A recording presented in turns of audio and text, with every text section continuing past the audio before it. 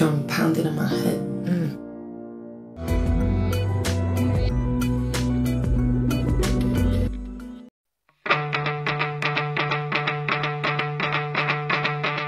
El auge de las nuevas tecnologías ha traído consigo muchas cosas buenas y multitud de ventajas que nos facilitan el día a día. Pero también han aparecido los ciberdelincuentes y con ellos los ciberataques. Entre ellos, uno de los más populares es el uso de malware.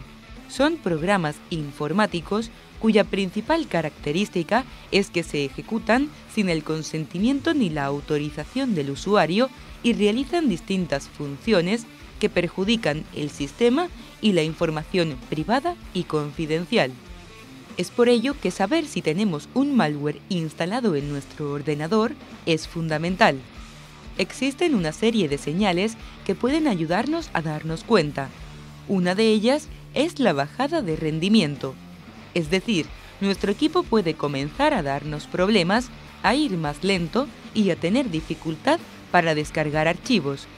Por otro lado, si no quieres esperar a sentir los síntomas, puedes comprobar manualmente si tu sistema operativo Windows o Mac está sufriendo un proceso malicioso. Podremos ver si hay un proceso consumiendo más recursos de lo normal y si sospechamos que se trata de un malware, bloquearlo y eliminarlo, porque de hecho puedes finalizarlo desde el administrador de tareas.